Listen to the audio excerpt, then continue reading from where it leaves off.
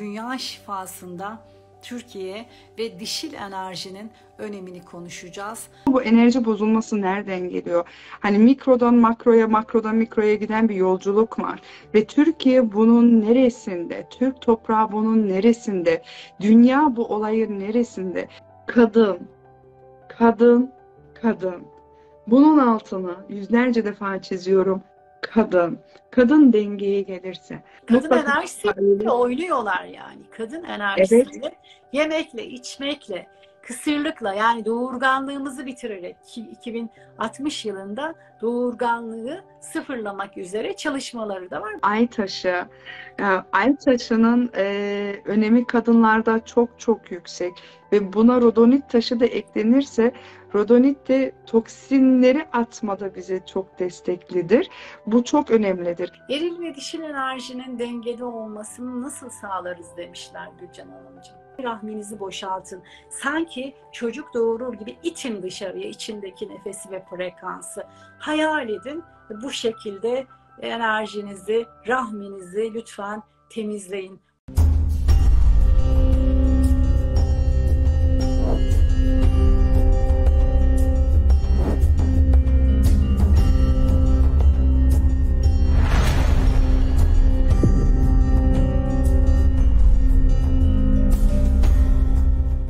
Hoş geldin Gülcan Zümra Koptur. Merhabalar. Hoş bulduk hocam. Hayırlı akşamlarınız olsun. Nasılsınız? Hayırlı akşamlar. Çok teşekkür ediyorum. Ee, Çok şükür iyiyiz, iyiyiz. Dengeye gelmeye çalışıyoruz. Şükürler olsun. Allah'ın Evet. izniyle inşallah cümle insan aleminin, dünyanın dengeye gelmesine niyet ediyorum her daim. Yayınımız, e, konu başlığımız çok güzel. E, Anadolu çok önemli. Anadolu e, dünya gezegeninde çok özel bir yer. Dünya gezegeninin tam orta noktası. Bunu bilim insanları da çok kez söylediler. Tam orta yerinde, yani tam merkezinde. Merkezde olmak o yüzden biraz acılıdır. Merkezinde olduğu için çok acılı topraklardır burası. Çünkü bir şeyin merkezinde olmak dengeyi kurmak açısından da çok önemlidir. Yani buraya merkez olarak bakmamız lazım. Anadolu'nun topraklarına asırlarca, binlerce yıl boyunca e, kristalize enerji olarak kaydedilmiş frekansa ve titreşime bakmak lazım. Anadolu'nun toprakları buram buram kristalize enerji hiçbir zaman değişmez. Yani orada toprakların üzerinde hep vardır. Yani benim şu anda oturduğum sandalyedeki sandalyede bulunduğum toprakta şuradaki burası bu ev gitse başka bir ev gelse bile 10 bin yıl sonra benim enerjimi hala burada hissedebilirsiniz. Buna kristalize enerji denir. Hiç değişmez. Bu dolayısıyla Anadolu'daki bunca zaman yaşanmış olanlar en başından bugüne kadar yani yaratılışın var olduğundan beri. Nuh'un gemisini bu topraklarda olduğu söylenir değil mi? Kutsal ahit sandığının bu topraklarda olduğu söylenir. Peygamberler şehirleri bu topraklarda. Bu topraklar çok özel ve yarın e, açılmaya başladığında maddi olarak da altınların, madenlerin, değerli eşyalarında çıktığı, bunların ötesindeki çok özel rahmani armağanların çıktığı bir yer haline gelecek. Şimdi sancılı süreçlerdeyiz. Yeterince sancı çığlıkları attık. Yeterince dengeye gelmek için ben kendi adıma söylüyorum bir ayı geçti. Bugün ayın 11'i. Bir ay bir hafta oldu. Yeterince çığlıklar attık. Hemen şimdi her birimizin benden başlayarak yer yerlerimize tekrar doluşmamız lazım. Tekrar yerimize geçmemiz, köşelerimize ve alanlarımıza çekilmemiz lazım. Neden? Deniz fenerleri gerçekten dalgaların ortasındadır, fırtınaların ortasındadır. Deniz feneri olmaktan korkan bir deniz feneri olamaz. Fırtınalardan korkan, kasırgalardan korkan, okyanusların tsunamilerinden korkan bir deniz feneri olamaz.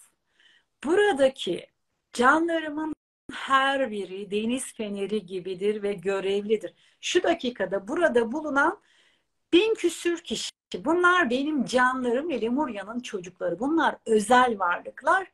Hemen yerlerinize geçin. Deniz fenerleri gibi ışıldamaya, ışıklarınızı o karanlık noktalara göndermeye derhal başlayın. Derhal.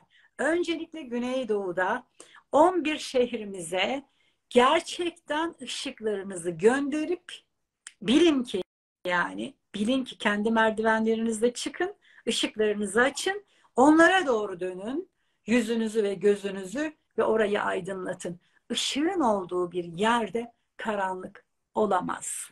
Şimdi o karanlık noktaları aydınlatmak sizin göreviniz. Ben sen gelmeyeceksin diye bir anda bir e, bağlantıya geçtim. Onun için onu kesmeden vermem gerekiyordu. Senden çok özür diliyorum. Can içi Lemurya'nın güzel evladı. Buyur sıra sende. Ben kenara çekiliyorum yine. Evet. Tekrardan cümleten hoş geldiniz diyorum. Bu arada Kabe'den selamlar geldi. E, aleyküm selam. Çok teşekkür ederiz. Ve e, biz birkaç soru e, dengeye nasıl geleceğiz diye birkaç can sormuş. Yayının sonuna doğru bu cevaba ulaşacaksınız. Şimdi ilk önce Besmele'nin sırrıyla Bismillahirrahmanirrahim. Bugünkü konumuzu biraz daha dünya üzerine geçenki canlı yayında kadının ve erkeğin bozulan enerjisini konuşmuştuk. Ama bu enerji bozulması nereden geliyor? Hani mikrodan makroya, makrodan mikroya giden bir yolculuk var. Ve Türkiye bunun neresinde? Türk toprağı bunun neresinde? Dünya bu olayın neresinde? Yedi kat aşağıda bulunan dünyanın e, üçüncü gözü. Haritayı siz okullarda verilen haritalarda dahi şöyle düz açtığınız zaman Türkiye tam ortada üçüncü göz. Dünyanın üçüncü gözüdür. Dünyanın merkezidir Türkiye. Ve e, biz... yine tekrar düzelteceğim. Üçüncü gözü biz e, yani e, üçüncü göz şey diyorsun değil mi? Burayı diyorsun. Pardon. Pardon. Pardon ben bir anda şey oldum. Ra'nın gözü gibi algıladım. Özür dilerim Can. Buyur. Evet. Buyur Can. Ee, Müthiş biz... bir şey söylüyordun. Sözünü kestim. Estağfurullah. Ve bu üçüncü gözle neyimize, neye aslında mesela en basit bildiğimiz basiretimize, şuurumuza, ilhamımıza. Dolayısıyla dünyanın ilhamı, basireti, şuuru, değeri de Türkiye'dir.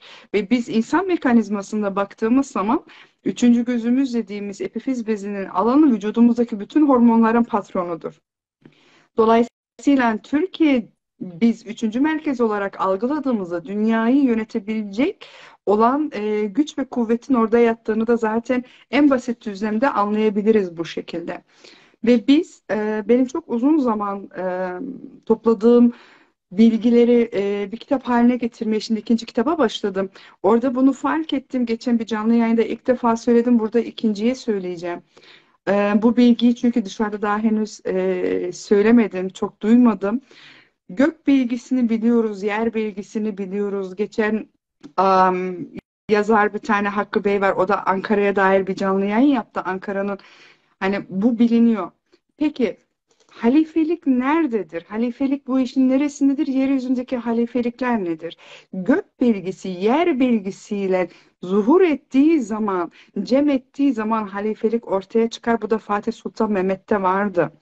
Biz ilmi bilgiyi birbirinden ayıramayız ve bugün Ankara'yı Anka ve Ra Ra'nın ne olduğunu da artık biliyoruz ve e, Rahman ve Rahim'in enerjisinin de orada olduğunu biliyoruz. Biz bugün gök takım yıldızlarını, Anka gök takım yıldızlarını alıp ters çevirdiğimiz zaman tam Ankara'nın üstüne oturuyor. Tam Ankara'da ağzı aşağı doğru. Türkiye'nin iç rahmi vardır. Bu da Kızılırmak. Kızılırmak e, Türk, siz Google'e dünyanın merkezi verdiğinizde Çorum çıkar e, Çorum Kırşehir ve oradan geçen e, Kırşehir üzeri de geçen bütün o alanlarda o e, Anadolu'nun ortasında Nevşehir, Kırşehir oralarda Kızılırmak'ın ana merkezidir. Ve Kızılırmak'ın e, Gölü ile arasında bulunan alan e, siz o takım yıldızını ters çevirdiğinizde Anka'nın kafasının geldiği alandır. Doğum kanalıdır. Ve o Anka'nın kafasının üstündeki yer şehrin adı Evren'dir. Evren. Yani biz doğum kanalı olarak Tuz Gölü'nü alırsak Tuz Gölü'nün arasında tam oraya gök takım yıldızlarını çevirdiğinizde Ankara'nın kafası Tuz Gölü'nün oraya geliyor. Rahimden çıkma alanıdır orası canlar. Orada e, ki yani çok tevafuk bir şekilde şehrin adı da Evren. Evren. Yani Evren. Neresi o? Neresi orası? Ankara hocam. Ankara. Evren, evren dediğiniz ne? Evrende bir küçük şehir. Tam Ankara'nın kafasının dek geldiği yerde küçük bir şehirdir. Yani takım yıldızını aldığımız zaman Ankara'nın üzerine o takım yıldızını resim olarak ters çevirdiğimiz zaman Ankara sınırına tam oturuyor hocam. Tam oturuyor. Ve oturduğu an kafasının geldiği yer Tuz Gölü'nün orasıdır. Bara, e, Kızılırmak'tan ve e, Tuz Gölü'nün arasında geliyor kafası. Tam böyle bir doğum kanalı gibi. Hı hı. Ve orada kafasının üstüne tekamül eden yer o şehrin adı Evren'dir. Dolayısıyla Ankara'nın kendi kendine yani bir e, gök takım yıldızlarından Anka takım yıldızları Ankara'ya tam tekamül ediyor. Ve küçük, e, onu burada açmak istemem ama küçük bir şey daha söyleyeyim. E, ejderha, ejder takım yıldızları da Marmaris'in üstüne dek geliyor. Ve bir sembol dilinde fethi, Fethiye'yi geçersen fethedersin deriz. Orası ayrı bir doğum kanalı deriz. Yani biz e, benim astroloji eğitimin bilgim de yok. E, haddim aşarak burada bir alana girmek istemem. Burada astrologlar daha iyi bunu çözümler diye düşünüyorum. Ben sadece bende olan bilgiyle buna ulaştım. Biz e, takım yıldızların birçoğu Türkiye'nin üstündeki şehirlere oturuyor. Ve Anka Anka zaten çok yüksek enerjili, mitolojide de kullandığımız, sembol de kullandığımız çok yüksek enerjisi olandır. Ankara dolayısıyla merkez. Yani biz merkezden merkeze, merkezden merkeze geçiyoruz ve Ankara'ya geliyoruz. Bugün ee, Ankara'daki bulunan birçok yer tesadüf değil. Bugün Anıtkabir'in bulunduğu yer tesadüf Kesinlikle. değil. Ee, o Mustafa sayılar... Kemal Atatürk'ün Ankara'yı başkenti yapması tesadüf değil. Aynen. Yani tıpkı kuruluş tarihinin 29 Ekimlerin tesadüf 1923'lerin tesadüf olmadığı gibi başkent olması Türkiye Cumhuriyeti'nin adı hiçbirisi tesadüf değil Hepsi Aynen. hesaplı, kitaplı, ebcedi yapılmış e, bir takım e, astrolojik e, verilerden geçirilmiş e, normal olmayan atamızın normal olmayan seçtiği tarihler ve evet. Evet. Süper. Ve bu devam 19. sırrı da siz e, devam gidebiliyor. Mesela biz e, Çorum birçok e, Ç harfi ve C harfi de geçer. Çorum dünyanın hani Google'e verdiğinizde dünyanın merkezi olarak çıkar ve etcet karşılığı da da mesela cimin 19'dur. Hı hı. E, 40 bunların hepsi orada sayısal olarak çıkıyor.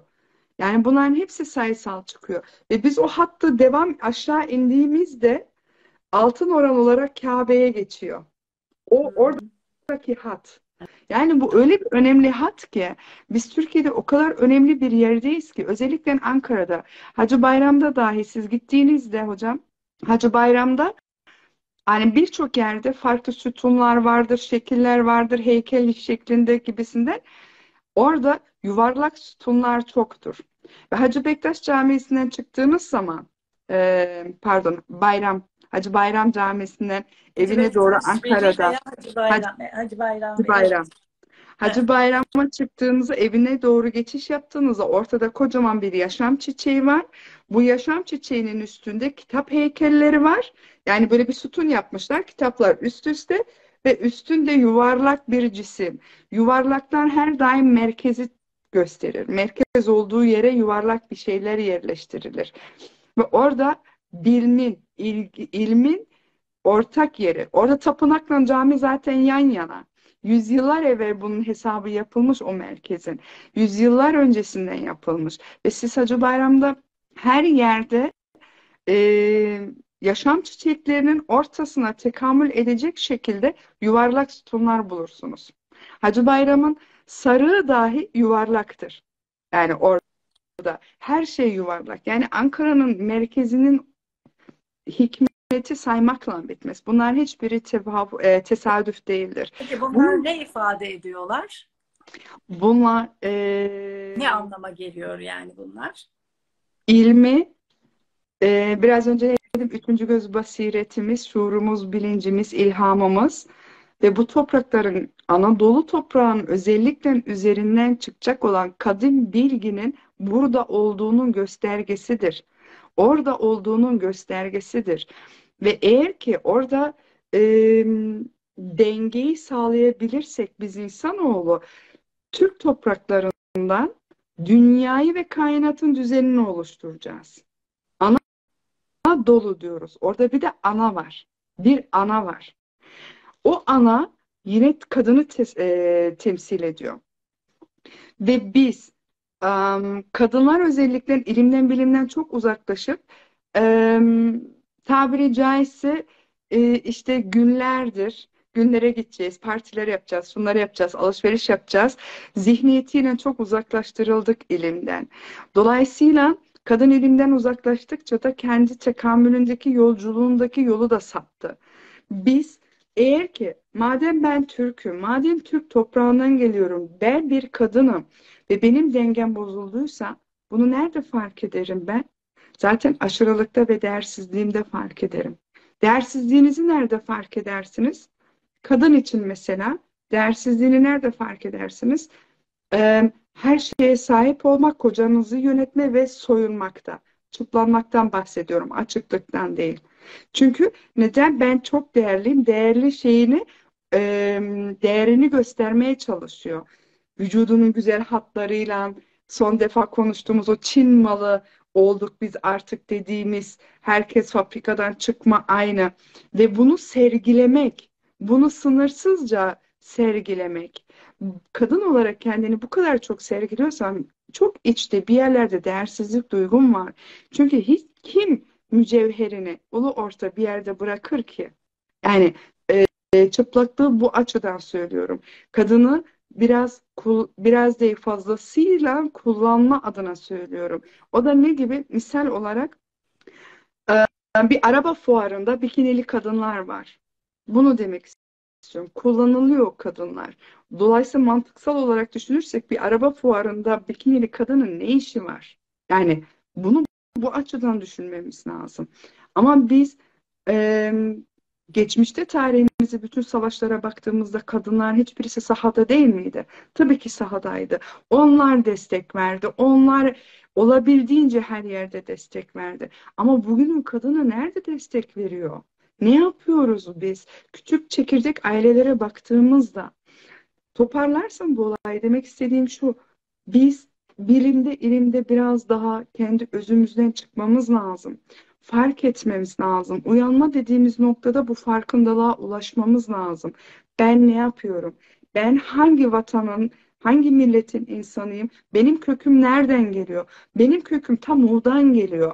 Ve bugün Türk topraklarındayız. Türk de deniliyor. Yani bu topraklarda ben dünya için neler yapabilirim? Nasıl bir katkıda bulunabilirim? Bu kainatta olan ve dünyadaki dengesizlikleri benim yerim nerede? Ve ben nasıl karınca misali su götürebilirim? Bunları düşünmemiz lazım. Bunlara artık uyanış dediğimiz alan. Ve biz bütün bize bazen değişik de gelse bunlara duvar örecek öreceğimiz yerde ya bu insanlar ne diyor?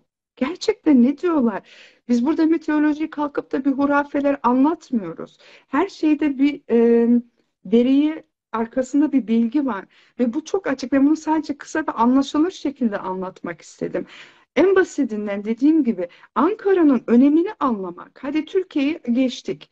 Ankara'nın dahi önemini anlamak. Siz o sayısal olarak numarolojiden gidebilirsiniz. Dediğim gibi Anka takım yıldızlarını alıp bir program bittikten sonra bakın. Bunu hepiniz internete açın. Ankara'nın sınır haritasını çıkarın ve Anka takım kuş, e, Anka takım yıldızlarını alın ve ters çevirip bir yerleştirin. Allah o kadar güzel her şeyi bir nizam içinde yaratmıştır ki biz bu nizamı fark edeceğiz. Bu nizam nerede başlıyor?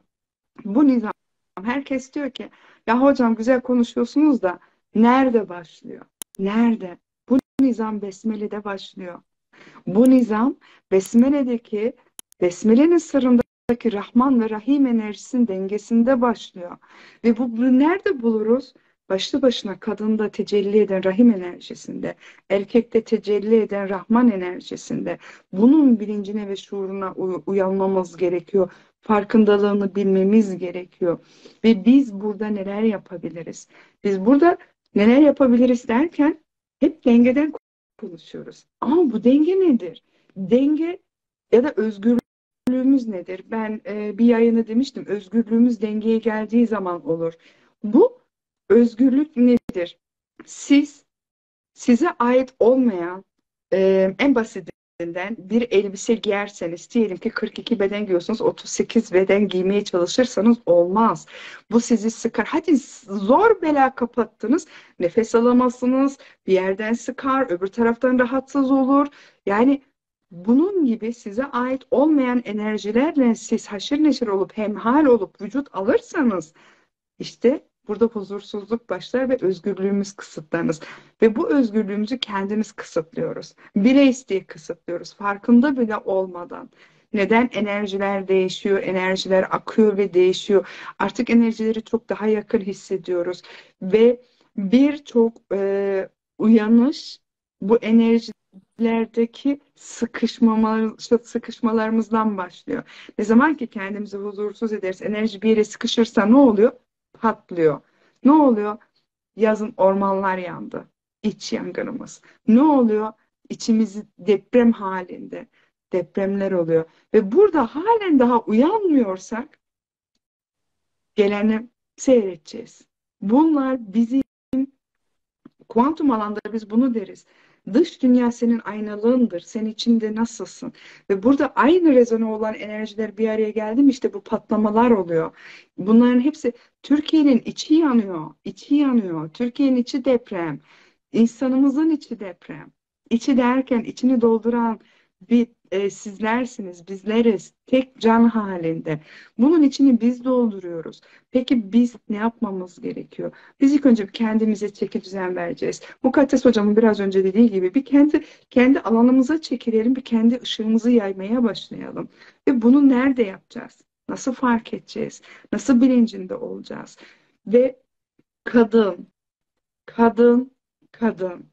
Bunun altını yüzlerce defa çiziyorum kadın, kadın dengeye gelirse ve burada devam etmeden hemen bana atak edilen soruların en başından birinde hemen cevaplayayım ilerlemeden hocam erkekler o erkeği de doğuran bir kadın o erkeği de yetiştiren bir kadın, o erkeği emziren kadın, o erkeği evlendiren kadın, o erkeğin yuvasına da karışan kadın ve doğuran da kadın. Dolayısıyla erkeğe gitmeden önce biz o erkeklere bir şey demiyorsunuz. Ben erkeklere şu an şu an evet bir şey demiyorum çünkü onlar adına çok üzülüyorum. O çok ayrı bir şey. Ama biz kadınlar siz doğuruyorsunuz o erkekleri. Ben doğuruyorum. Öbürü doğuruyor. Yetiştiren de benim. Herkesin bir karısı, kocası, kardeşi, abisi olmayabilir. Çocuğu olmayabilir. Ama şu dünya yüzeyinde gördüğümüz her bir bireyin mutlaka bir annesi var. Aynen. Yani bir kadınla birincil derecede ilişkisi var. Aynen çok öyle. Net. Her bir bireyin. Bu, bu çok güzel bir yerden yakaladım. Yani Hitler'i de bir kadın doğurdu. Değil mi? Mussolini evet. de bir kadın, Einstein'ı da bir kadın doğurdu. Mustafa Kemal Atatürk'ü de bir kadın doğurdu. Hazreti Peygamber'i de bir kadın doğurdu. Yani bunların hepsini dünyaya getiren, armağan eden mutlaka bir kadın. Kadın enerjisi, rahim enerjisi. Evet. Ve Peygamber Efendimizin çok güzel dediği e, ben de sadece bakın sadece diyor ben de sadece bir Medineli kadının çocuğuyum. Beni de bir kadın doğurdu anlamına geliyor orada. Hani e, bunun çok çok önemi var ve e, dolayısıyla bütün konuyu ben kadına bağlayacağım. Neden kadın? En baştan bunu söyledik işte. Doğuran kadın. Her bir canlının annesi kadın. Onu bir doğuran kadın var. Ve biz kadınlar kendi özümüzden çok uzaklaştık. O kadar çok uzaklaştık ki sadece yönetiliyoruz. Ve bunun bile farkına varmıyoruz. Aldığımız giysiler, yediklerimiz, dışarı çıktıklarımız bizi... Um, Değermem. Bu çok uzun bir hikaye kadının Ve yani. kadın figürüyle oynamaya başladılar diyorsun. Aynen. Dişil Evet. enerjiyle oynamaya başladılar. Aynen. Yediklerimizle, içtiklerimizle şimdi de yapay zekaya be- benzetmeye çalışarak Çin malı kadınlar yapmaya başladılar ki yarın bir e, geçenlerde bir filmde gördüm. Yani filmin e, şeyini m, gördüm. e, reklamını gördüm. E, kadın yapay zeka yani müthiş böyle tamamen botoks yani hiçbir mimik yok. Koşuyor böyle şey yapıyor. Polisler de anladığım kadarıyla ileriyi gösteriyor yine. Ee, inanılmaz yani kötü. İnsan olanları topluyorlar. İnsan olanları. Sadece yapay zeka kadınlar, robot kadınlar dolaşabiliyor yani. Polisler bağırta bağırta insanları. Şey de kadın da koşuyor böyle. Başka bir polis de iyi niyetli bir polis de diyor ki ona sen diyor materlemişsin. Dikkatli ol diyor. Yani sen bir yapay zeka değilsin. Terlediğin için seni de götürürler demek istiyor. Hale bakar mısın? Sadece bu kadarını izledim. Yani artık öyle bir sürece doğru gidiyoruz ki yarın yapay zeka kadınlar sokakta gezdiğinde hiç anlamayacağız. Çünkü Evet. kadınlar eşle tek oldu artık. Tek tip. Kaşımız, gözümüz, saçımızın rengi, mimiklerimiz, burnumuz hiç birbirimizi ayırt edemeyeceğiz artık. Yani hele bundan 20 sene sonra şimdi yine anlaşılabiliyor. 20 sene sonra hiç anlamak mümkün olmayacak. Buyurun buradan devam edin. Kadın Mutlaka. enerjisiyle oynuyorlar yani. Kadın enerjisiyle, yemekle, içmekle, kısırlıkla yani doğurganlığımızı bitirerek ki 2060 yılında doğurganlığı sıfırlamak üzere çalışmaları da var. Bunu da ilk defa söylüyorum. 2060 yılında kadınlara doğum bile yaptıramayacaklar. Bununla ilgili bir sürü kurgu bilim filmleri yapıldı. Son işte hamile kadının peşine filan düşen yapay zekaları gördük. Birçok Netflix'te Black Mirror'da filan gördüğümüz şeyler var. Evet devam edelim. Sevgili Hocam Gülcan. bundan 10-15 sene oldu mu bilmiyorum tam da iRobot diye Will Smith'in bir filmi vardı. Ve ben o zamanlar o filmi seyrettiğimde eyvah dedim işte dedim insanın geleceği bu olacak. Robotlar yani insanlar çok azınlıkta ve robotlar her şeye hükmediyordu. Bu yapay zekalar. Ee, bunu bize anlatıyorlar zaten filmleriyle de biz buna bile uyanamıyoruz maalesef. Zaten biz kolanın en başına döndüğümüz zaman kadınları kısırlaştırmak için e, siyahi kadınları e, oluşturulmuş bir içecektir. Dolayısıyla bizi yavaş yavaş son özellikle bile göre, göre görsel olarak da görülen son 60 senedir müthiş işliyorlar kadını. Kadını yavaş yavaş yavaş yavaş e, meşrubatlarla, yediklerimizle, giysilerimizin naylona dönüşmesiyle, e, regl döneminde kullanılan petlerle, Evet. e, koruma e, doğum kontrol haplarıyla vesaire vesaire bunu e, oluşturdular ve artık korku mekanizması korku mekanizmasıyla biz ne yapıyoruz? Kendimizi sıkıyoruz. Kendimizi sıktıkça da vücut sıvısının devir daim yapmamasını sağlıyoruz. Korkuyu bize verdiler. Korkuyla akciğer hastalıklarımız çoğaldı ve derin nefes alamama imkanımız oldu. Sadece şimdi mesela herkes oturduğu yerden bir tane derin nefes alsın. Ve ondan sonra bir fark etsin nereden nefes aldı. Herkes dışından nefes alıyor. Tamamıyla korku merkezinden. Diyaframdan aşağı karın bölgesine geçmiyor nefesler. Böyle olunca da bizim vücut sıvımız, omurgamızın etrafında dolaşan vücut sıvımız tıkanıyor. Tıkandığı zaman da arızalar başlıyor. Epifiz bezinleri gitmiyor. Beyne kadar beyin suyu, o oradaki dolaşan sular ve özellikle kök çakramızı tıkıyor. Kadının rahmini tıkıyor. Bakın bugün e, yani buna dair en muhteşem yöntem diyeceğim hacamat. Tabii ki enerjisel çalışmalar birebir müthiş. Sülük yani hemen derhal başlasınlar. Hacamat. Herkes. Şu an ben özellikle şu son iki senedir, özellikle son iki senedir bir tane kadın görmedim ki birinci, ikinci çakrasında hacamat yaparken renk dahi alsın. Renk dahi alsın. O kadar kapalılar. Mutlaka rahim enerjisini bedensel olarak da aktif etmek için o beyin suyunu, bakın beyin suyu nereden alınıyor? Omurda belimizden alınıyor. Orası çok önemli. Kök çakranız ve belinize yaptığınız hacamatlar ve sülük çok çok aktive eder. Bunun bilincinde olun. Sülü e, aç parantez kısa bunu söyleyeyim. İlla rahimden içeri öyle bir şeyden e, karşıyım. Göbekten yapabilirsiniz. Göbek deliğine çakrayı e, göbek deliğine sülük yerleştirebilirsiniz. Ama mutlaka karın bölgesi ve sırttan ve önden mutlaka hacamat yaptırın. Gerekirse iki haftaya bir yaptırın. Açılsın, renk alsın, kanı devir daim yapsın ki aktifleşin. Bakın çakra dediğimiz zaman, enerji dediğimiz zaman insanlara tuhaf gelebilir. Ama hacama yani kaç bin yıllık bir e, şifa Evet. şeyidir. Yani bunu Hazreti mutlaka. Peygamberden itibaren gelen Ve e, oradaki vücut sıvımız çalışmayınca ne oluyor? Kök çakranız tıkalı. E, cinsel çakranız tıkalı.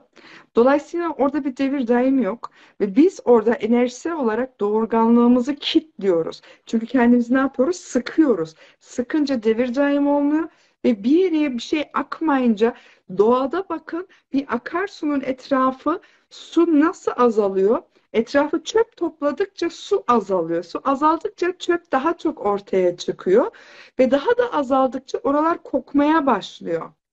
Ve bu da vücut sıvımızı da öyle düşünün. Bir yerde sıvı geçemiyorsa oralarda sıkıntı oluşuyor. İşte kadınların bazı kadınların e, regl döneminde ağır metal kokuları oluyor. Artık asitli oluyor. Bunların da bilincinde olmak. Bu da ne yapıyor? Bizim rahmimizdeki çöpü bize gösteriyor. Rahmimizi kendimizi sıktığımızda rahmimizde oluşturduğumuz o bütün negatif enerjilerin toplanması, blokajlarına bunlar kokuyla gelir. Koklarsınız bu koku alanı gelir. Ondan sonra ne yapıyor? Doğurganlığınız, Onsa kadınlık e, endişeleriniz, korkularınız hepsi doğurganlık dediğimiz anda rahim enerjisi sadece çocuk doğurmak değildir. Rahim enerjisi üretmektir. Ve siz bugün üretmek istiyorsanız rahim enerjiniz aktif olması lazım. Bakın benim, ben bunu bilmiyordum yıllar önce. Rahim enerjim kapalıydı. Ben zaten erkek gibi bir hani gerçekten çok maskulin erkek gibi biriydim. Ve ben diyorum bakın beni görün ben canlıyım. Ben dönüştüysem bugün herkes dönüşür. Ve benim rahmim kilitliydi. Dört hacamattan sonra benim rahmim renk almaya başladı. Bundan yedi sene önceydi bu. Dört hacamattan sonra renk almaya başladı. Altı hacamattan sonra açıldı. Bunlar çok önemli. Ve orası açıldıkça ben kadınlığımı kabul ettikçe ve tekamülümde kadınlığın muhteşemliğini, kadınlığın ne olduğunu idrak ettikçe benim üretmem de başladı. Dolayısıyla işimde de üretmem başladı, aile içi üretmem başladı, ee, insanlara karşı vesaire üretim başladı. Evet, en güzel üretim kendinizedir. En güzel üretimi kendinizde görürsünüz. Ve siz değiştikçe çocuğunuz değişir, eşiniz değişir. Ve bu da böyle böyle bütün dünya değişir. Ve biz ne diyoruz? DNA'mızda Hazreti Adem Aleyhisselam'dan beri bütün bilgiler kayıtlı, bütün bilgiler vardır, aktarım vardır. Dolayısıyla canlar o DNA'da ben ne kadar titreşim oluşturursam, o DNA sarmalımı ne kadar sağlıklı tutarsam o kadar da insanlara etki sağlarım. Yani çocuk oyuncakları vardır, içinde toplar vardır. O toplar dengeye geldi mi biri hepsi yerine oturur. Biz o topun merkezi ana doluyuz. Kadın anadır. Kadın rahim enerjisidir. Ve rahim enerjisi dengeye geldiği zaman kocalarımız, çocuklarımız, komşularımız, bakın kan bağı olmasa dahi komşularınız, herkes yerine gelecek. Bizler sadece kim olduğumuzu fark edeceğiz. Ne olduğumuzu fark edeceğiz. Nasıl bir şeyleri değiştirebileceğimizi fark edeceğiz. Lakin buna cesaret gerek. Cesaretliysen yaparsın. Çünkü değişim cesaret ister. Ben buna apaçık söylüyorum. Mıy mıy mıy yerinizde oturacaksanız oturun. Ama bir değişim istiyorsanız harekette bereket vardır. Zahmetsiz rahmet olmaz. Harekete geçeceksin. Sorumluluğunu üstleneceksin. Ondan sonra ilahi zaten senin yolunu sana gösteriyor. Ama ilk önce bir besmele çekip ayağa kalkmaya cesaretin var mı? Kadın olmaya cesaretin var mı? Enerjini üstlenmeye cesaretin var mı? Dengeyi gelmeye cesaretin var mı? Ya da sadece çok özür diliyorum oturduğun yerde pıs pıs pıs pıs kendine göre gerekçeler, sebepler üretip A'ya konuşup, B'ye konuşup, C'ye konuşup sadece boş teneke gibi laf mı üretmek istiyorsun? Bakın bu bir tercihtir. Hayat bizim tercih meselemizdir. Tercihlerimizi yaşarız. Ve siz kadın olacak kadar cesaretliyseniz ya Allah Bismillah deyip ayaklanın. Ve buna dair bir proje hazırlandı. Ee, bu e, hocam depremden önceydi. Depremden önce hazırlanan bir proje ama e, araya deprem girdi vesaire girdi. Dolayısıyla 7 yılını biliyoruz. Bu 7 yılı çok e, sarsıntılı diyeyim. Biraz bizi sallayarak yani ama öyle ama böyle kendimize getirmek için doğum öncesi doğum öncesi sancı gibi geçecek. Ve Mart'tan Nisan'a geçiş. Nisan'da yeniden doğumun, yeniden e, filizlenmenin, aydınlanmanın zamanıdır. Ve e, tam Ramazan'a tekamül ediyor. Ramazan'da e, 27 gün boyunca haftada cumartesileri hariç 6 gün boyunca bir dünya ve Türkiye rahim ve dişil enerji şifası için bir atölye hazırladık. Birçok değerli hocalarımız, birçok kişisel gelişim alanında kişi katıldı. Çok muazzam emek isteyen bir proje hazırladık. Günde bir gün, e, her gün bir katılımcı konuşacak. Rahim üzerine, dünya üzerine, ilahi sistem üzerine bir uyanış online kampı gibi e, burada müthiş bir e, kadro kurduk insanlara, dünyaya destek olmak için ve bu süreçte hatimler, kelime-i tevhidler hepsi toplanacak ve katılımcılardan gelen atölyeye ücretle ayın 21 Nisan Arefe günü Cuma namazından sonra Türkiye'nin 9 ilinde kurbanlar kesilecek. Ya Allah Bismillah dedik. Önümüzdeki hafta inşallah bunun afişlerini çıkaracağız. Burada bütün canlıları da katkı amaçlı beklerim inşallah. E, farkındalıktır uyanış. Dengemizi gelmektir uyanış. Bazen bir yere katılırsanız bir cümle, bir kelime sizi bir sarsar ve kendinize getirir. Bunun dışında da Allah nasip kısmet ederse haftaya Cuma, Cumartesi, Pazar Bercesteyi Hatun eğitim, eğitim tadında atölye. Bunu ben e, yapıyorum. Yani bu, bunda sadece ben varım bu şeyde. Kadının sırrı, rahmin sırrı, e, Besmele'nin sırrındaki kadın ve biz dengeye nasıl geliriz? Birçok e, çalışmalarla içinde olan kadının dengesine e, destek olacak bir atölyedir. Ve orada da şunu dedim. Cesareti olan gelsin. Cesaretin var mı kadın olmaya? Cesaretin var mı kadınlığını üstlenmeye? Çünkü bizi çok cesaretsizlendirdiler. Ee, çok böyle cesur görünüyoruz ama içimizde ağlayan, kırgın olan, kalp kırıklıkları, hayal kırıklıkları, değersizlikleri olan bir kadınız biz. Resim olarak ama hiçbir yerde belli değil bu. Resim olarak çok güçlü durmaya çalışıyoruz ama gücün dahi ne olduğunu ve nereden geldiğini ve nereden gücü alabiliriz onu dahi bilmiyoruz. Ve bu bilince uyanmamız lazım. Yüzyıllardır e, eril enerjiyle yönetiliyoruz. Patriarkal bir sistemle yönetiliyoruz. Matriarkal dediğimiz dişil enerji baskılandı. Ne bilim insanı, ne sanatçı, ne büyük bir siyaset insanı çıkarabiliyoruz kadınlardan. Kadınlara her şekilde erkek egemen dünya kadınları her şekilde e, kontrol etmeye başladı. Çalıştı ve başarılı oldu. Hedefte de kısır olma şey vardı. Hatta cadı avları Orta Çağ döneminde yine üreten ve frekansı yüksek, etkisi yüksek şaman kadınlara e, yapılan bir saldırıydı aslında. Onun ardında başka sebepler var. Şimdi kadınların artık dikkat e, etmesi lazım. Kokularla yani koku da kullanarak yine sentetik e, iç çamaşırları, sentetik kıyafetler, süslü olsun diye, güzel görünsün diye dantel kıyafetler. Yani ketenden, pamuktan, basmadan uzaklaştırıldığımız anda biz doğamızdan uzaklaşmaya başladık. Doğamıza tekrar geri dönmemiz lazım. Yine sezeryanlarla kesikler. Doktor Hans Adrian'la biz Lemuria Akademi olarak eğitimler yaptığımızda Hans Adrian'dan inanılmaz şeyler öğrendik. Çok önemli bir e, öğretim görevlisidir Profesör Doktor Hans Adrian Rotterdam Üniversitesi'nde. E, kesikleri anlatırken o kadar güzel bilgiler verdi ki bize.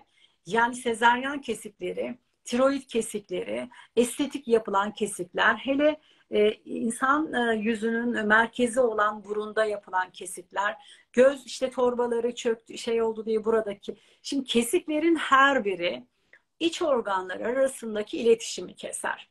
Mesela boğazdaki tiroid kesiği yukarı ile aşağının yine sezeryan tam böyle ikinci sakral çakranın ve kök çakranın kesilmesi anlamına gelir. Ve bugün kadınların yüzde sekseni bunun buna maruz kaldı. Bu tuzaklara düştü. Estetik operasyonlarla yapılan kesikler. Kesikler inanılmaz risklidir. İç organlar için iletişimi keser. Bunu bilerek şu saatten sonra yapmayalım. Ben bilseydim tiroid ameliyatını 25 yaşında oldum. Bilseydim olmazdı. Bunların hiçbirisini şu saatten sonra bilerek yapmayalım artık. Dövmeler. Dövmeler oradaki frekansı tamamen e, emen yani karanlık bölgelerdir.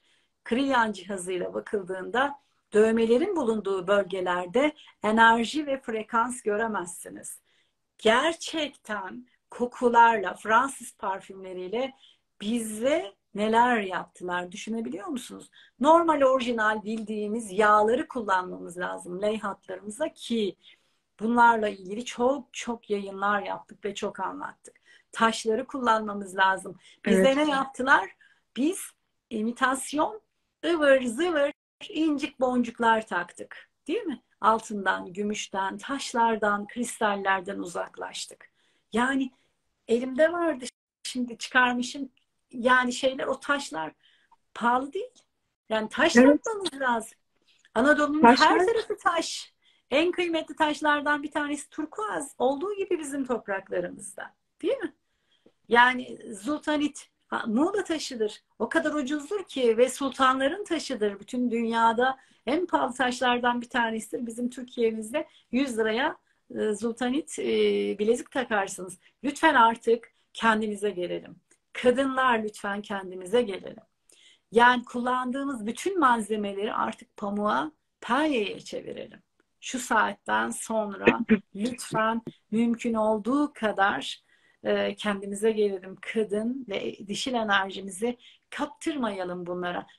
paketli gıdalardan uzak duralım. Kısır yapıyorlar. Yani diyeceksin ki ben 50 yaşındayım. Senin de frekansını düşürüyor. Yani evet. 50 yaşından sonra doğurmayacaksın ama frekansını kaybediyorsun. Enerjini e, oynatıyor yerinden. Eril dişil enerjini bozuyor senin. Yapmayın. Yapmayın. Hocam e, şey e, bir iki şeyi müsaade ederseniz eklemek isterim. O cadıları zamanında insanlar kristalize insanlardı ve duvarlardan ve nesnelerden geçebiliyorlardı.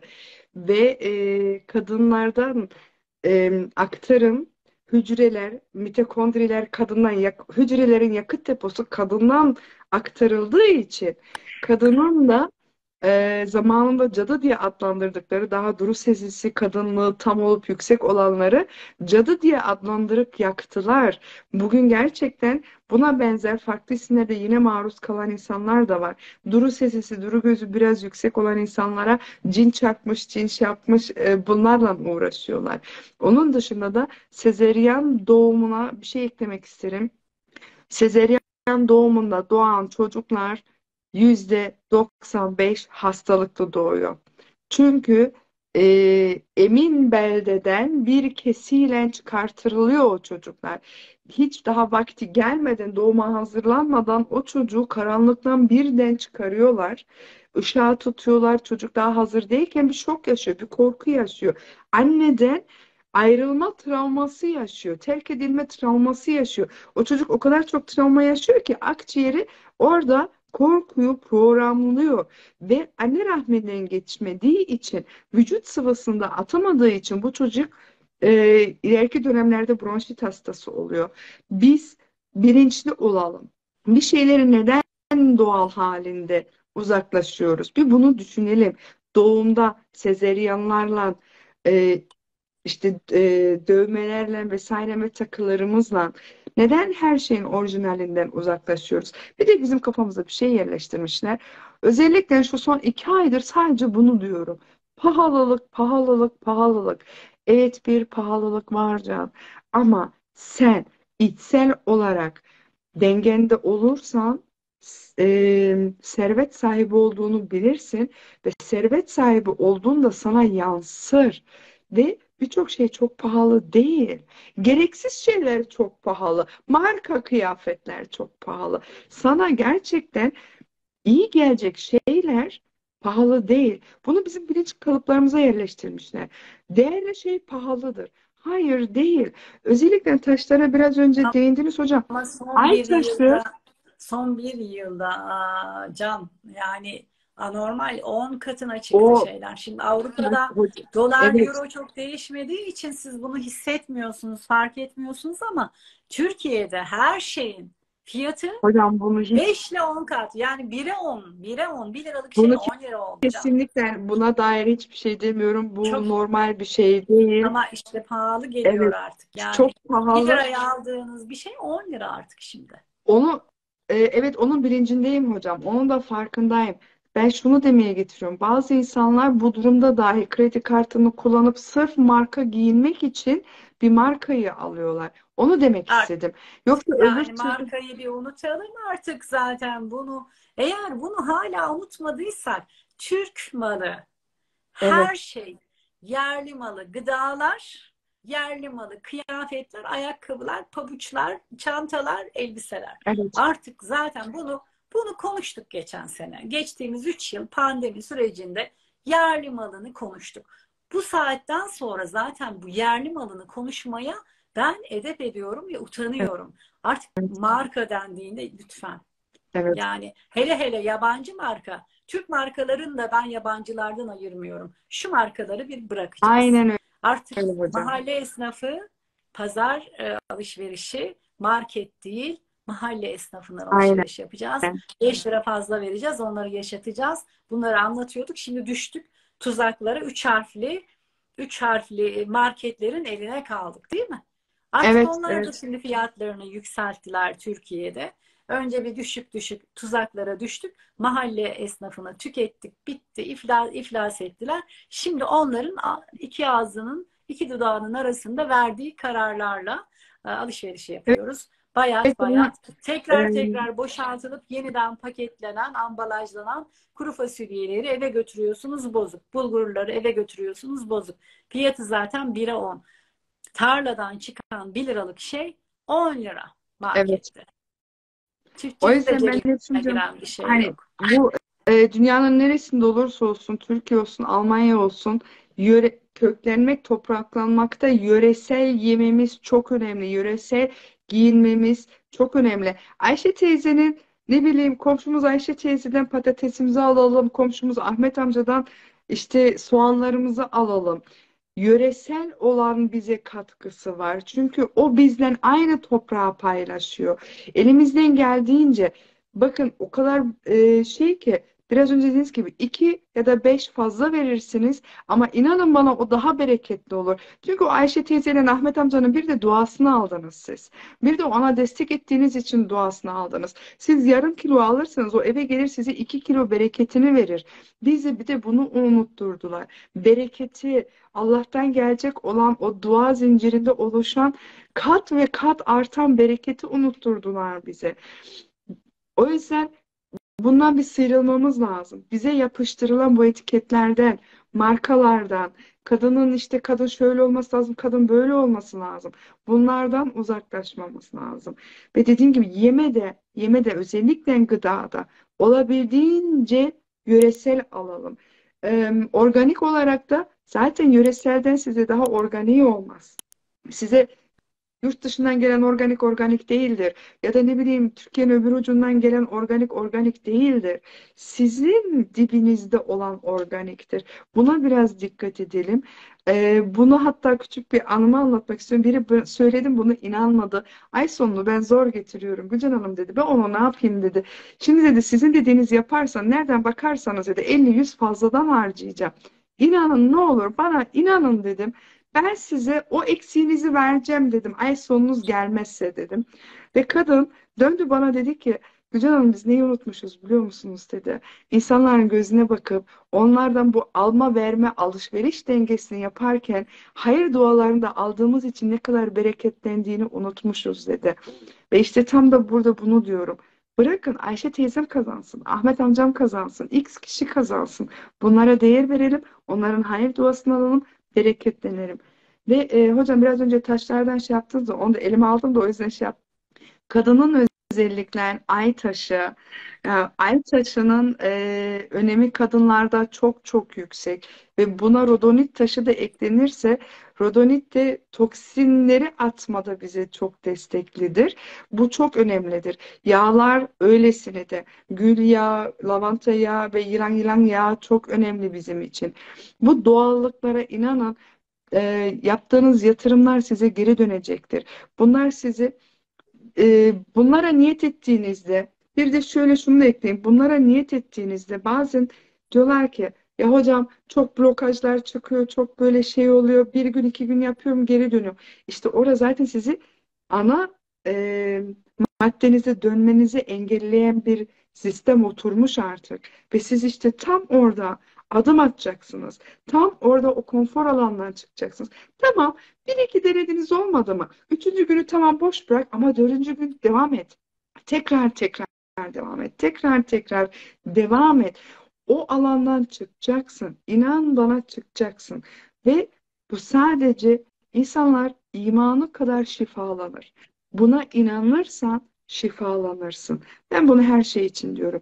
İmanın kadar şifalanır. Sen buna karar verdin mi? Niyet ettin mi? Bu dengeyi gelmeye gerçekten niyet ettin mi? Bulursun. Ben olmam başka biri olur. Onda bulursun. X kişi de olur. Onda bulursun. Ama yeter ki harekete geç. Yeter ki bir kadın olarak, bir toprak olarak nelere e, Allah'ın sana bahşettiği bilgilere bu rahim enerjisinden üretebileceğin bilgilere rahimine ne kadar aktif tutarsan, onu ne kadar onure edersen ve sever ve benimsersen oradan çıkanla bir doğur doğurma. Bu çok ayrı. Ama üretebilirsen doğurabilirsin de. Kısırlığımızı bize bize nerede verdiler? Üretkenliğimizi kestiler. Üretkenliğimizi nerede kestiler? Ailemize anne olmaya, mutfakta yemek pişirmeye, ev, çocuklarımızı gözetmeye, üretkenliğimizi burada kestiler. Burada kesince de ne oldu?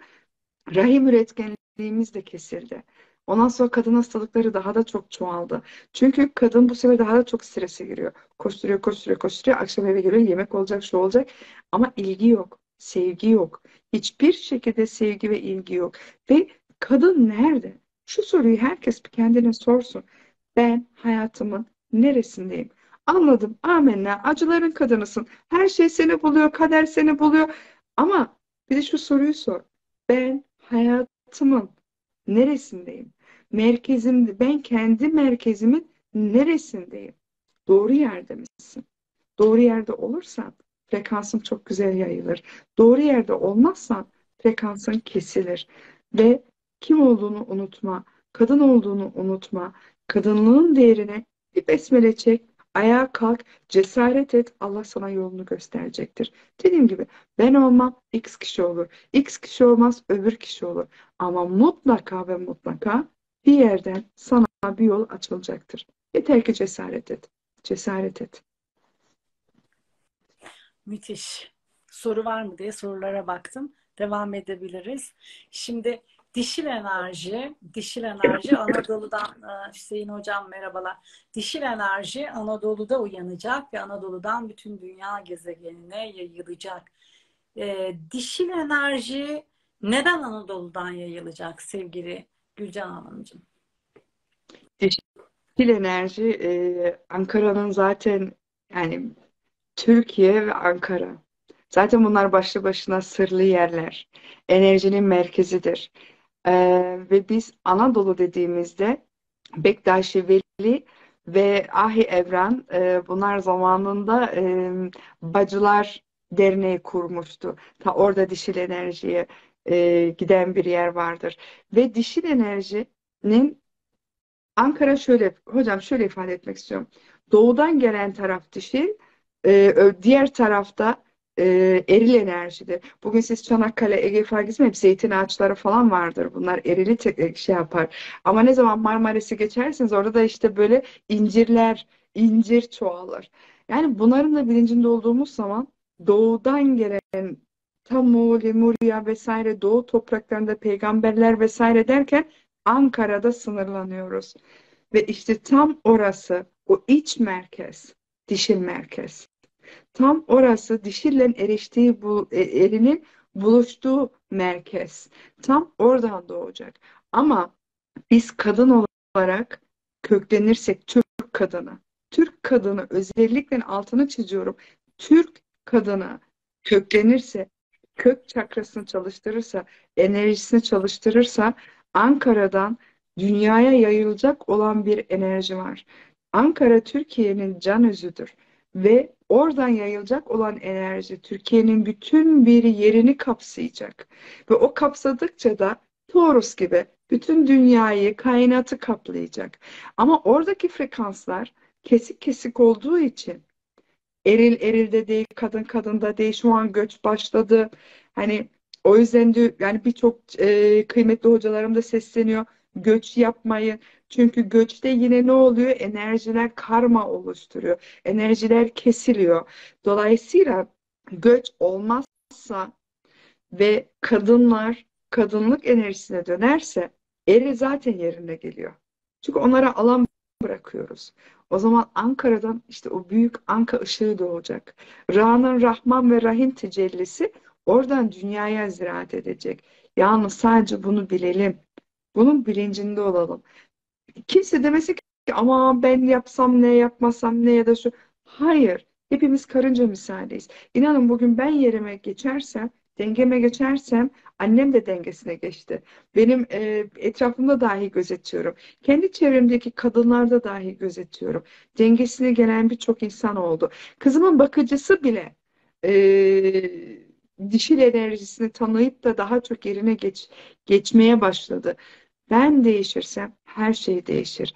Ve biz değişirsek Ankara değişir. Ankara'dan çıkan o enerji değişir. O enerji değiştikçe Türkiye'nin enerjisi değişir. Türkiye'nin enerjisi değiştikçe dünyanın, dünyanınki kainata ve biz sıfırdan dokuza varoluş, dokuzdan sıfıra geçiş yaparız ve Taurus devamlı sağlıklı kesintisiz bir enerjiyle devam işler.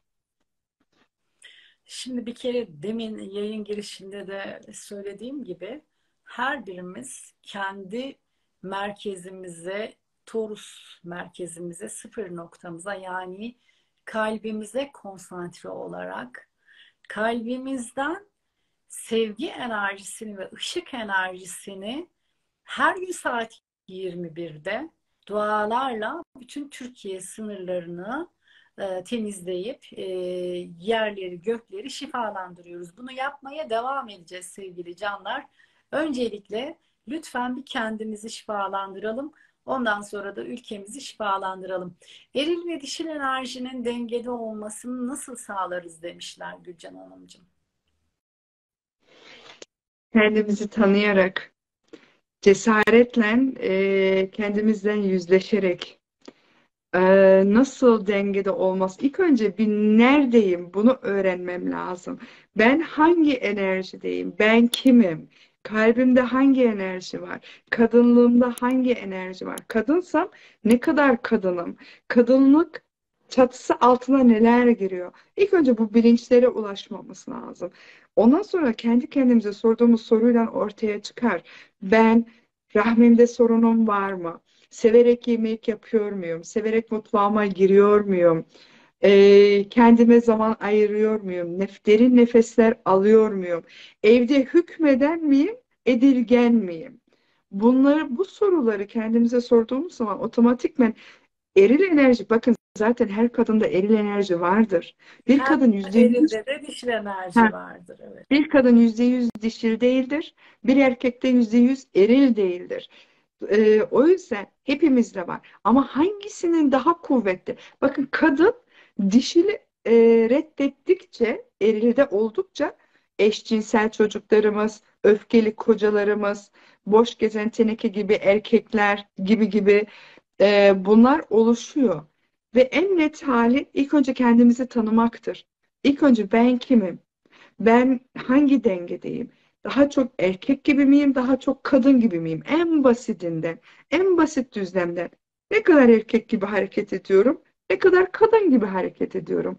Kadınlığımın farkında mıyım? Seviyor muyum kadınlığımı? Rahmimi seviyor muyum?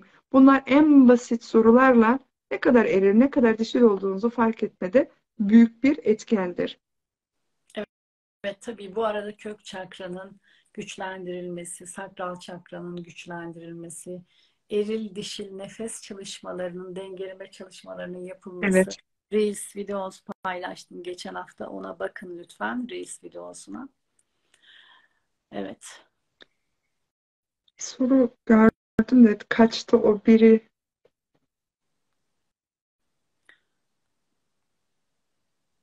Hacamatı nereden yaptırabiliriz? Almanya'da olanlar e, sevgili Gülcan Hanım'ı tercih edebilirler ama diğer yerlerde e, hacam, hacamatla ilgili yayınımız var. Onu izleyin lütfen. Gülcan Hanım'la yaptık. Hacamat e, mutlaka çok iyi bilen, bu işin e, rahmani yanını bilen e, kardeşlerimiz tarafından yapılmalı. Bulamadım. Orada bir an bir soru geçtiydi. Çok dikkatimi çekmişti. Ee, tam okuyamadıydım. Ee, hacamatla, Tuz, hacamatla tuzla enerjimizi yıkanmak, tuzla yıkanmak negatif enerjiyi temizler mi demişler. E, Tabii tuzla arınmak zaten Allah yeryüzüne denizi vermiş. Tuzlu denizi bir kere ke bizi arındırması için. Tuz müthiş bir şeydir. Hiçbir şey yapamıyorsanız ayağınızı su ba- bakın akşamları çok gergin bir günden sonra ayağınızı tuzlu suda dinlendirebilirsiniz. Çünkü orada organlarınızın da sinir sistemi olduğu için sizi çok rahatlatır. Bence bunları toparlarsak birçok kendimizdeki negatif enerjiler çok ayrıdır. Onları sirkeli suyla da temizleyebilirsiniz. Hatta evinizde bir şişe sirkeli suya çocuğunuz varsa çocuğunuza dualar okutun. O sirkeli suyu evinizin temizliğinde ve kendiniz de banyodan çıktıktan sonra da e, çakra noktalarınıza hafif dokundurup ondan da arınma yapabilirsiniz. İçsel arınmaları Türkiye'de yanılmıyorsam İngiliz karbonatı diyorlar. E, Almanya'da natron adı bilenler için. İngiliz karbonatıyla sabahları aç karnına e, psişik olan enerjilerden de uzun vadede kullandığınız, uzun vade dediğimiz 21 günü geçmemeli. O sizi e, farklı enerjilerden de arındırır. Enerjiden arınmanın çok şeyleri vardır. Ve canlarım zaten siz kendi merkezinizde merkezleştikçe, kendi benden öte benize, beninize yol aldıkça öyle bir kuvvetli aura oluyor ki bunlara ihtiyacınız bile çok kalmıyor. Yani o kadar e, kuvvetli bir auranız oluşuyor ki katman katman. Size öyle her şey, her gelenin nazarıymış, her gelenin şunuymuş. Bunlar çok e, yapışmıyor. Ama hissederseniz, dilerseniz bir pet şişeyi deniz tuzuyla, e, soğuk suyla deniz tuzu daha çabuk çözülür. Onu koyduğunuz zaman banyodan sonra tam tıkmaya yakın hafta girdiğinizde tepe çakranızdan üstünüzde onu e, bir akıtabilirsiniz. Genel anlamda bir genel arındırma olarak. E, bunu aslında rahime de yapabilir. Deniz tuzu kremleri var. Rahim üstüne, göbek üstüne ve göbek altına ve e, kök çakraya yakın oralarda onları da o kremleri saatin tersine. Bakın burası kadının enerjisi, çakrası saatin tersine yol alır. Erkeğinki saat yönünde ilerler. Ve burada e, bunu da açıklayan, bu normalde eğitim şeyinde anlatıyoruz. Saat tersine dönen kadının çakrası, saat yönüne dönen erkeğin çakrası. Ve bu burada tepede birleşir. Bakın bu ne? Bir sarma. DNA ne? İki, iki taraflı bir sarmandan oluşuyor. Aynı DNA'nız erkek ve kadından oluşuyor. Erkek ve kadın cinsel münasebette olduğu zaman besmele oluyor. Rahman ve Rahim birleşiyor. Ve o rahimden doğan besmelenin sırrı oluyor.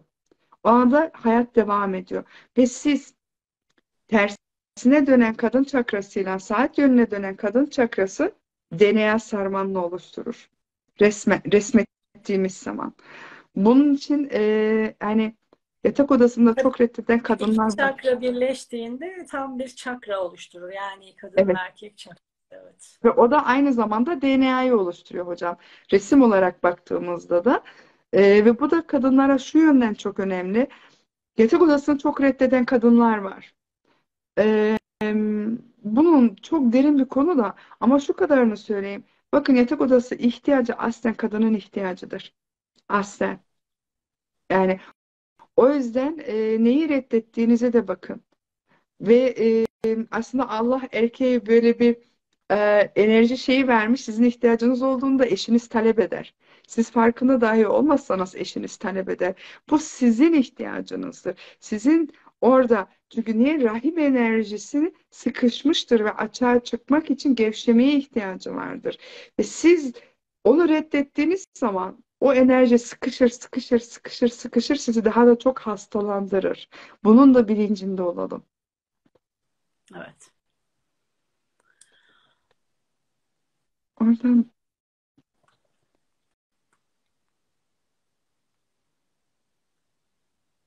Başka soru var mı diye bakıyorum.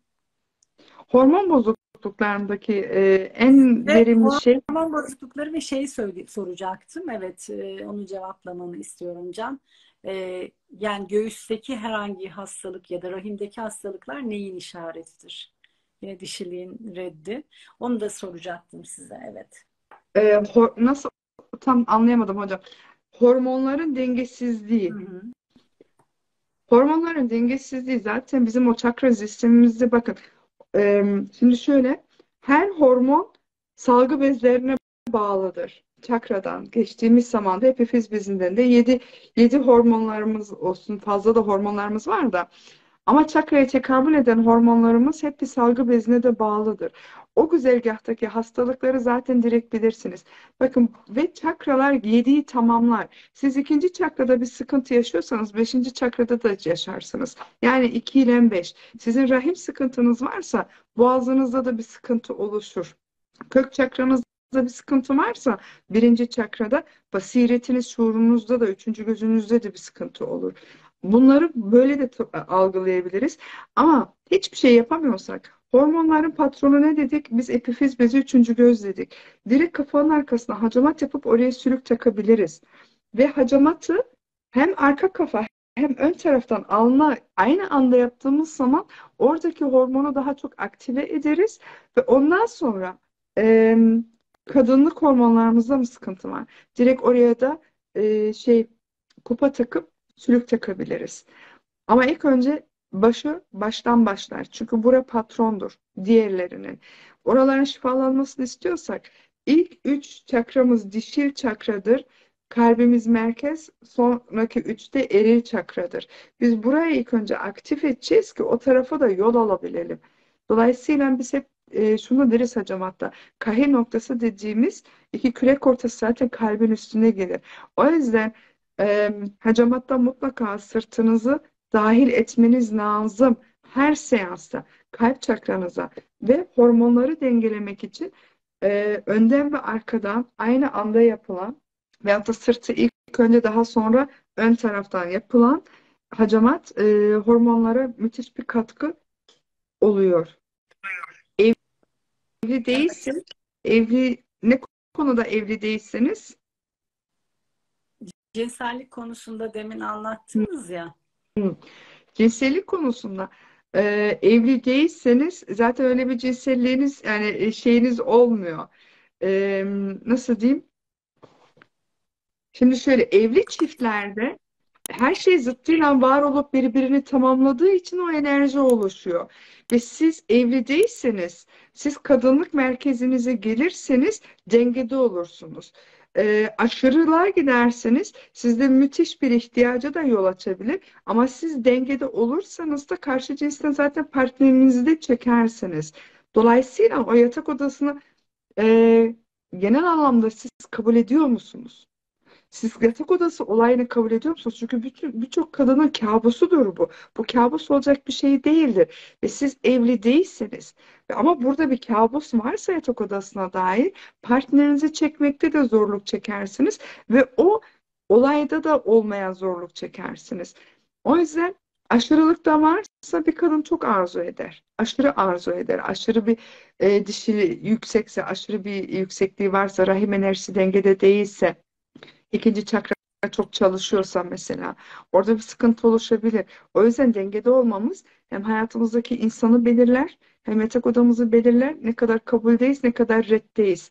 Dengemizi oradan da algılayabiliriz. Evlilik dışı ilişkiler çoğaldı. Ha. Evlilik dışı ilişkiler e, maalesef çok büyük sorunlardan bir tanesi. E, çünkü neden? Ya şimdi bunu nasıl ifade edeyim? Emre Ziya Yazgan hocamız çok anlattı bu konuya. İstersen ben cevap vereyim. Rah, rahim enerjisi vardır. Aslında bütün organların enerjisi vardır. Evet. Diyelim ki kolu kopan bir kardeşimizin 20 sene sonra kolunun olduğu yerde kaşıntı hissi olur. Neden?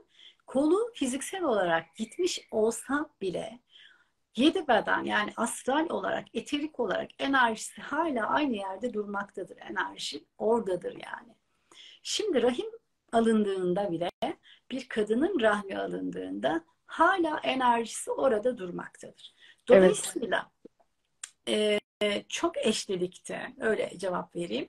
Çok eşlilikte tüm eşlerin e, frekansı ve enerjisi yani sperm enerjisinden bahsediyorum. Rahim hafızasına kaydedilir. Dolayısıyla çok eşliliklerde ya da buna evlilik dışı da diyebiliriz. Rahim hafızasından o frekansı, o titreşimi, o enerjiyi atmak çok zordur. Ömür boyu oradan gitmez. Ancak çalışılması lazım. Bunun için özel çalışmalar yapılması lazım. Aynen. Çalışma yapılmazsa o bağ devam eder. Yani aradan 20 yıl geçmiştir ama siz e, üç kez evlenmişsinizdir. İlk eşinizle olan bağınız hala devam eder. Mutlaka bunun çalışılması ve o enerjinin e, orada dönüştürülmesi ve yok edilmesi lazım. Aslında birçok dinde de hani zina yapma derken aslında bunu e, kastediyorlardı ama biz işte o haram bu bilmem ne bunların bilimsel açıklamaları bize yapılmadığı için biz bunlardan çok hoşlanmadık, çok da ilgilenmedik. Bu da bu anlama gelir. Onun için çok dikkatli olmak gerekir. Çünkü ne kadar insan varsa hayatınızda cinsel birliktelik yaşadığınız o kadar bağınız oluşmuştur. O kadar karmik bağa girmişsinizdir. O kadar frekans ve enerji bağına girmişsinizdir. Bunun mutlaka çözülmesi gerekir. Yani bir takım çalışmalarla oradaki enerjinin rahimden çözülmesi ve özgürleştirilmesi lazım senin hayatında. Evet. Ben de tam kısaca şöyle diyecektim. Yükü ağır olur o kadının. Ee, erkeğe de yükü ağır olur, kadının da yükü ağır olur ve bu yükün arkasına gerçekten çok kapılar açabiliriz. Ee, ve bunlar e, bireysel çalışılması gerekir ama o karmalardan dolayı yükü ağır olur. Yani kısa ve öz böyle demek istemiştim. O çok güzel açıkladınız hocam. Teşekkür ederim.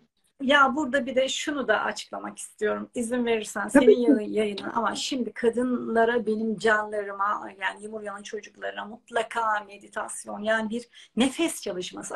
Atıyorum 8'li 10'lu kare nefesi yapıp bütün ilgilerini, bütün nefeslerini rahme vermelerini çok eşli olan canların ya da eski kocalarını, eski sevgililerini tamamen oradaki karmik bağın kopması için yani ne olur bu burada şunu e, yapmalarını rica ediyorum. Tamamen tüm nefesi rahimlere yani sanki burunlarını rahme koymalarını nefesi rahimlerinden alıp ağızlarıyla rahimlerinden e, enerjinin püskürtülmesini ve bunun hayal edilmesini, imajine edilmesini ve düşünülmesini rica ediyorum. Yani bunu yapsınlar en az 21 gün emin oluncaya kadar gözlerini kapatıp ellerini kalplerine koysunlar helallaştılar mı o eski eşleriyle, partnerleriyle ona bir baksınlar. Yani nefesi rahmi alıp rahimden sanki çocuk doğurur gibi püskürterek ağızlarından atmaları lazım. Burnunuzdan nefesi alın rahminize, rahminizden diye nefesi atın. Yani rahminizi boşaltın. Sanki çocuk doğurur gibi itin dışarıya içindeki nefesi ve frekansı. Hayal edin. Bu şekilde enerjinizi, rahminizi lütfen temizleyin. Bunu yapın. Uzunca bir zaman yapın güzel canlarım. Eski eşlerinden, eski partnerlerinden e, tamamen özgürleşmek isteyen canlarımız denk geldi spontane. Evet. E, hakkını helal et lütfen. Çok, hayır estağfurullah hocam bu çok doğru ve bunun ardından da rahim yine rahim yoksa alındıysa da hiç fark etmiyor. Orada bu frekans enerji orada. Bakın tekrar söylüyorum. Rahim alındı ama hala frekans ve enerji o spermin enerjisi hala orada durmakta. Onu bir gönderin ne olur. Olur mu? Emre Ziya Yazgan hocamıza da burada yine e, selamlarımı ve sevgilerimi gönderiyorum. Hakkını evet. helal etsin. Evet. Ve e, bunun akabinde de tekrar bir soru kaç orada e, bağ kesme de yapılabiliyor. Evet. Ziya Hoca'nın tekniğini benim kendi nefes tekniklerimle birleştirerek yaptım. İkimizin şeyinden bir teknik çıktı ortaya. Harmanlanarak e, benim bence çıktı yani. Bunu böyle yapalım. Zaten öyle güzel oluyor hocam böyle akışta gelen şeyler en verimli olanları ve orada insan bazen fark ediyor. Aa buna bunu da eklediğimiz zaman böyle daha verimli bir şey çıkabiliyor diye Teşekkür ederim size bunu ilettiğiniz Canımsın. için. Canımsın. Bunu anlatalım, yayalım. Erile dişinin enerjisi yapışmaz. Erilde rahim yoktur. Biz rahim enerjisinden bahsediyoruz güzel canlarım. Evet, evet. erkeğinki sadece şudur. Anneye kordonla bağlı olduğu için doğumda e, onun da göbeğinde e, hani erkeğin dişil enerjisi nerede derseniz erkeğin de dişil enerjisi sakraldadır, göbeğindedir. Çünkü anneyle e, dediğim gibi kordonla anne karnında beslendiği için onun geçişi de oradadır. Evet. Biz, ee, yayını, yayını koyacağım sevgili canlar. Sayfaya koyacağım. Sayfada birkaç gün kalır. izlersiniz. Ama lütfen e, Mukaddes Pekin Başdil YouTube kanalını takip etmeyi unutmayın. Oradan yayın. Ya yani oradaki desteğiniz çok önemli. Senin var mı YouTube kanalı? Evet benim de var hocam. Hemen Hemen bir dakika özür dilerim ben de yani e, Gülcan Zümra Koptur evet. adına mı? Evet. Sevgili canlar bakın YouTube'lar e, yani tekrarları izlemek için YouTube'ları tercih edin ve YouTube'ları takip edin. YouTube'daki takibiniz e, sizin katkınız olacak. Çünkü ne kadar çok izlenir, beğenilirse ve takip edilirse öne çıkarıyor. Başka canların önüne düşüyor. Bu da sizin alver döngüsü açısından sizin için evet. bize katkı olması açısından çok önemli sevgili canlarım. Çok teşekkür ediyorum ben de. Ee, bizi evet takip YouTube çok ayrı bir bereket kanalı. Geçen hocamızın biri dedi ki YouTube dedi değişik bereket kanalıdır diye. Ve alma verme dengesinde de hocam dediği gibi çok çok e, verimli bir yerdir. E, benimki de aynı ismim gibidir. Gülcan Zümra Koptur. Oraya da daha sonra yüklemeleri yapılıyor. E, canlar sorularınızı daha sonra DM'den iletebilirsiniz. Lakin hemen dönüş yapamıyorum. Bir hafta 10 gün müsaade edin. O süreç içinde sizlere sorularınıza mutlaka dönüş sağlayacağım. Evet sevgili canlarım, ölen eş ile nasıl vedalaşılır? Eğer vedalaşmak istiyorsanız e, orada da geçenlerde babayla anneyle helallaşmayı yaptım. Aman ne çok e, şey oldu, tepki gördüm. E, eski eşinizle ya da ölen eşinizle de helallaşmak istediğinizde karşınıza bir sandalye oturtun, bir yastık koyun, onunla konuşun. Ondan sonra o karşı zaten morfogenetik alanda karşınıza gelecek. Sizi evet. dinleyecek. Siz onu görmeyeceksiniz. Güzelce oturun. Hakkımı helal ediyorum. Ee, sen de bana hakkını helal et. Ee, oradaki Reels'teki benim helallaşma videosunu izleyin. Babamla olan, babamla yaptığım e, helallaşma videosunu. Orada herkese vermiştim. O kadar şey oldu ki bir tane kardeşimizden bir tanesi çok ünlü bir insan. Hayatımda böyle yazmış böyle aptal, geri zekalı bir şey hayatımda görmedim diye yazmış. Demiş ki eğer babanla helallaşmak istiyorsan sandalyeyle konuş. Böyle bir de başlık atmış. Onu ben o dönem fark e, izledim sizi hocam. O dönem o olayların da farkındaydım. Ee, öyle değil. Sandalyenin üstüne babanızı hayali olarak oturtuyorsunuz e, ya da kocanızı onunla helallaşıyorsunuz. Aynen. Reels videoları sayfada benim sayfamda onların yayılmasına yardım edin zaten. Onlar sizin işiniz. Biz ne yapalım diyorlar Gülcan Hanımcığım. Biz ne yapalım? Biz evde oturuyoruz. Sizin gibi yapamıyoruz. Katkıda bu ya katkıda bulunmanız için çok fırsat. Karınca, karınca gibi yani bu yaptığımız yayınlar bir şey söyleyeceğim şimdi sen Lemuria çocuğu olduğum için benim yaptığım işi yapıp da yani çok fazla daha net bir şey söylemek istemiyorum.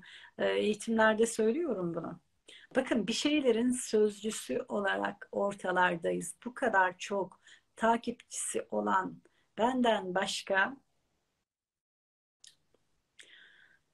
e, söylemeyeyim ya daha fazla söylemeyeyim.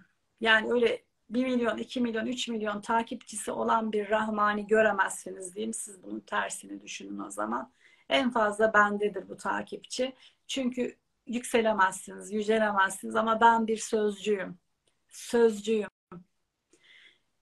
En yükseğe çıkarılabilecek olanlardan bir tanesi benim. Çünkü ben bir görevle buradayım. Birçok görevle. Zamanı geldiğinde anlayacaksınız sevgili canlarım. Benim işim var. Bakın benim hiçbir özel hayatım yok. Ne olur bu videoları yayın. Sizin göreviniz de bu. Gözünüzü seveyim sevgili canlarım. Evet. Evet, seviyorum Hocam, sizi. Bir şey daha Bu inanın bana yeryüzünde her insan biri görevli. Görevi farklıdır. Görevinizi evet. fark edin. Ee, ben şunun bilincindeyim Mukaddes hocamın görevini onu kadar idrak edip bilmiyorum ama onun az çok görevini tahmin edip biliyorum.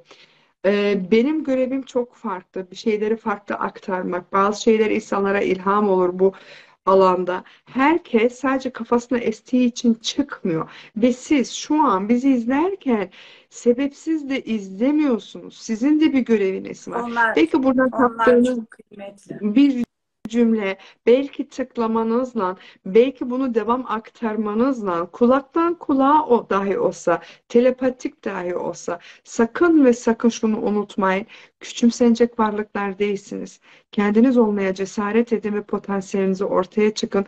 Çok değerlisiniz. Her biriniz ayrı ayrı değerlisiniz. Allah razı olsun diyorum. Zamanınızı da ayırıp izlediğiniz için çok teşekkür ediyorum. Hocam size de çok teşekkür ediyorum. Çok Teşekkürler güzel Can. İyi ki varsın. Yüreğine sağlık. Ben videoyu kaydediyorum. Lütfen Gülcan Zümra Koptur.